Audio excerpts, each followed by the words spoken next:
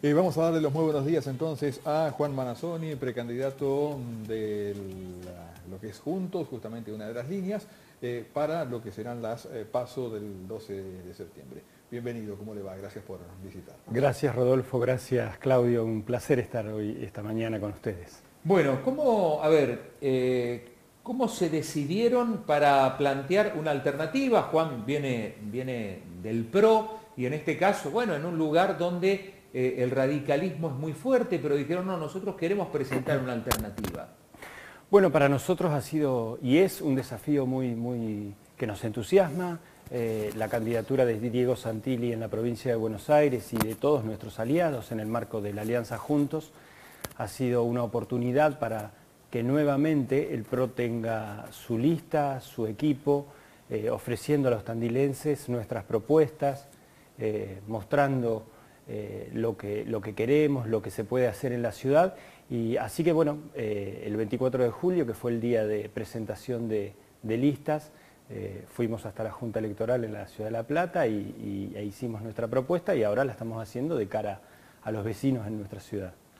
Muy bien, ustedes obviamente van con Santilli, lo que es en la provincia de Buenos Aires, como primer candidato a diputado de la provincia. Exactamente, acompañado por Graciela Ocaña, de Confianza Pública, por Juan Manuel López y Marcela Campagnoli de la, coalición cívica.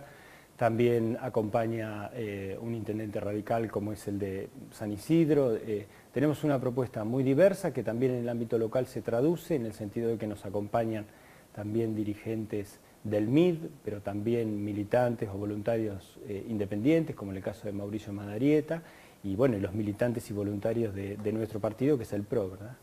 Correcto. Y en este sentido, ¿cuáles son las propuestas que ustedes eh, quisieran llevar al Consejo?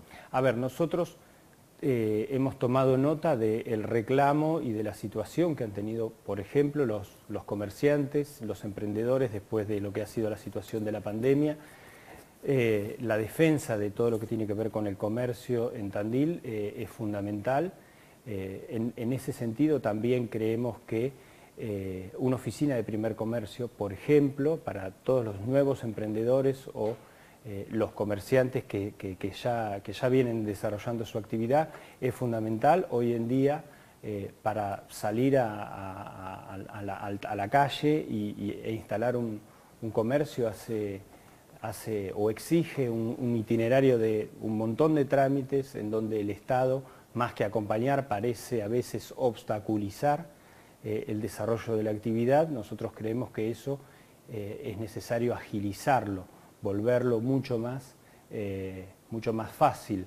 en ese sentido, por ejemplo, en la ciudad de Mar del Plata, esta, esta experiencia se ha implementado y está funcionando muy bien, es decir, reunir todos los trámites que tienen que ver con el comercio o con el desarrollo de emprendimientos en un mismo lugar.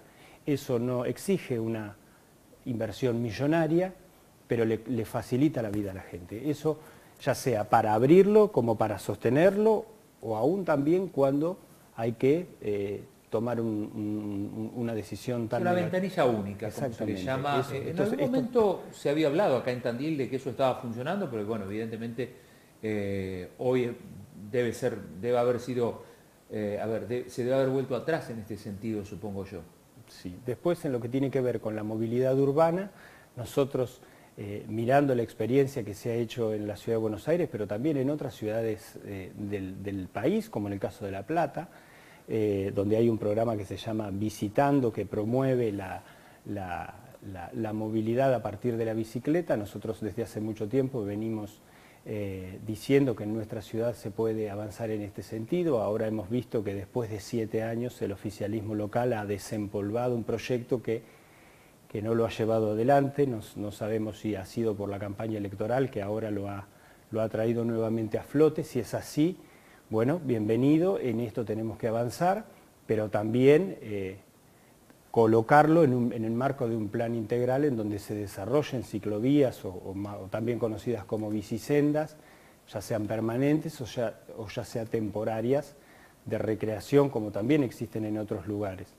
Eh, después, en materia de gestión de la basura, creo que el municipio tiene que avanzar en la concientización de la separación de los residuos en el propio domicilio del vecino, no, solamente en, el marco de los puntos limpios, que es una muy buena experiencia que se ha implementado bien, pero tenemos que, esto es un camino, no es, no, es un, punto de llegada, ¿no? y, bueno, y tenemos que concientizar, y esto es un camino eh, prolongado que exige eh, seguir trabajando para, que en algún momento en Tandil podamos reciclar, porque hoy en día lo que tenemos son solo cooperativas que separan, como ocurre acá en la calle Irigoyen, pero tenemos que separar en, nuestro domicilio en bolsas eh, o, en, las campanas, como existe también en la Ciudad de Buenos Aires, en campanas verdes y campanas negras de residuos eh, de basura o de reciclables.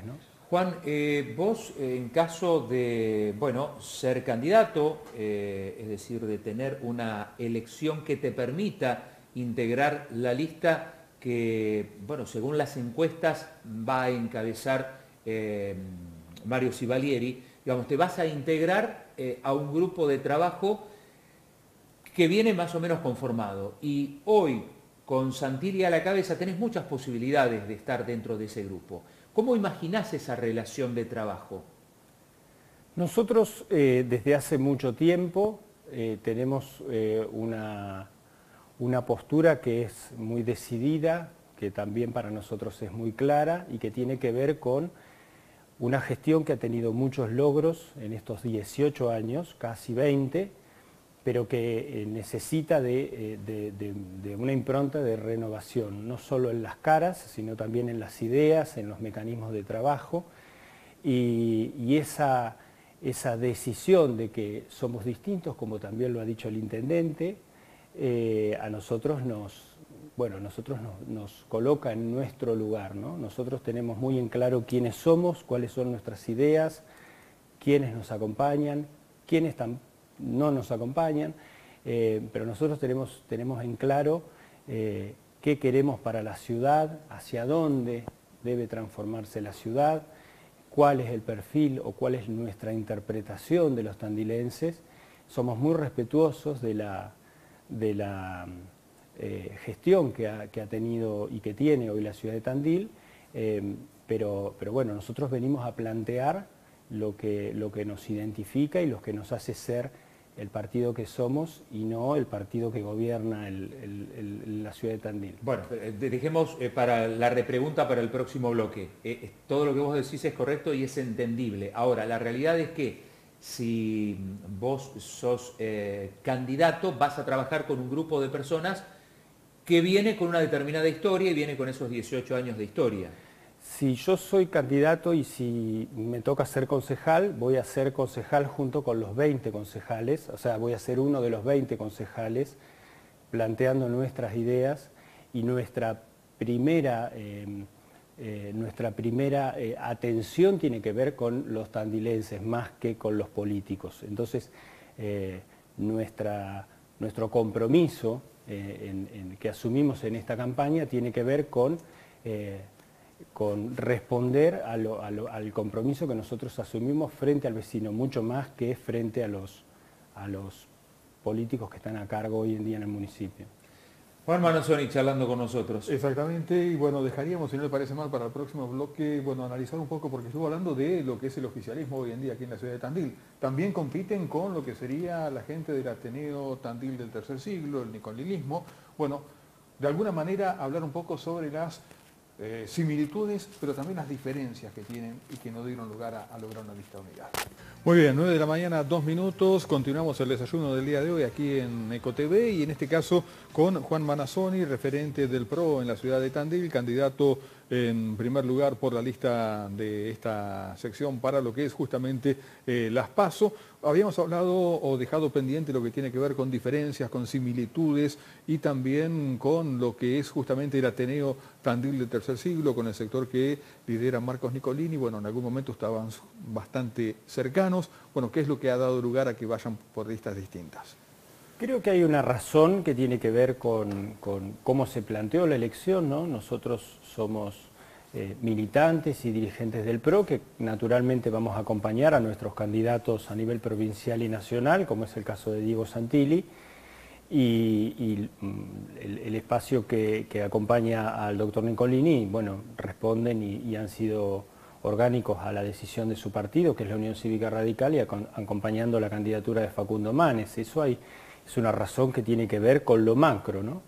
Eh, bueno, después comenzó la campaña y hoy en día ya tenemos eh, posicionamientos y, también propuestas diferentes. Y después, bueno, hay algo que, a mí me llama un poco la atención y que pasa también en el resto de las, de las propuestas políticas en esta elección, que me parece que al menos en lo personal no, no, no, me han gustado, que es que se está adelantando demasiado la, elección del año 2023. Eh, Tandil tiene un intendente que ha sido votado por más del 50% de los votos y, creo que no solo no hay que faltarle el respeto al intendente, sino a quienes lo votaron y, a, la totalidad de los tandilenses. Pero no pasa lo mismo con Santilli, digamos, lo que vos estás diciendo a nivel local ¿No se podría pensar lo mismo respecto a Santilli y Larreta? Yo no he escuchado en ningún momento a Santilli decir que quiera ser eh, otra cosa que no sea diputado eh, nacional en esta elección y a Horacio Rodríguez Larreta que quiere ser eh,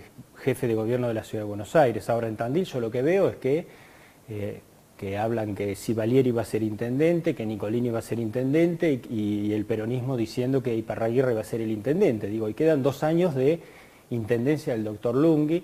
Me parece que esta es una elección de concejales y que lo que, eh, la gente espera que se hable es de los equipos de trabajo que se presentan ante, ante el electorado y las propuestas que se quieren llevar adelante. Parece que dos años en la Argentina es muchísimo.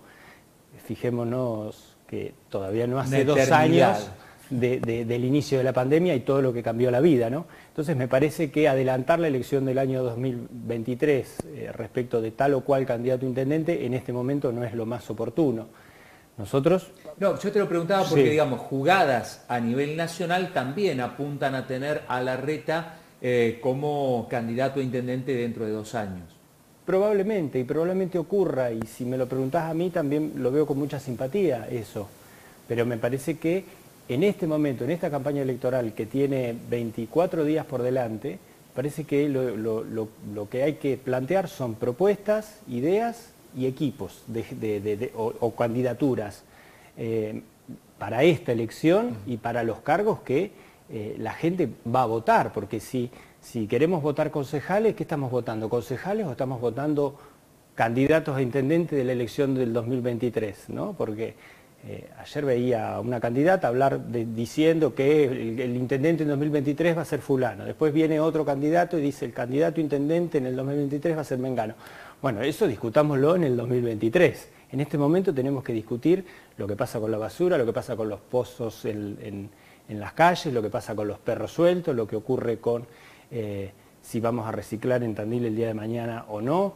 Eh, lo que ocurre con la cuestión del transporte, lo que está pasando en el hospital, porque si no, eh, digo, estamos siempre pateando los problemas para adelante, o si no, los, problemas los pateamos para adelante y las candidaturas de dos años las anticipamos, es decir, vivimos a contramano. Y eso desde el Consejo Deliberante, en estos temas que usted planteaba, ¿qué se puede hacer? Porque son temas que en teoría serían más del Ejecutivo, ¿no? Está bien, pero los 20 concejales representan a los 150.000 tandilenses y lo primero que pueden hacer es plantear y hacer visibles las demandas de los ciudadanos. Esa vieja frase que tantas veces se usa, de que el, Consejo Deliberante o que los órganos legislativos son caja de resonancia, que a veces cansa, que siempre se repita lo mismo. Pero bueno, ahora me tomo la licencia y también la repito yo. Eh, además de sancionar las ordenanzas que haya que sancionar, también hay que plantear y hacer visibles los problemas, las expectativas, los deseos de los, de los tandilenses, ¿verdad? Bien. Juan, eh, no es la última vez que nos vamos a encontrar antes de las PASO, te agradecemos mucho la presencia acá. La idea es que podamos ir conociendo de a poco a los precandidatos en este caso, después serán muchos de ellos candidatos, así que te vamos a estar invitando nuevamente. Será un placer como siempre. Muchas gracias. gracias a ustedes.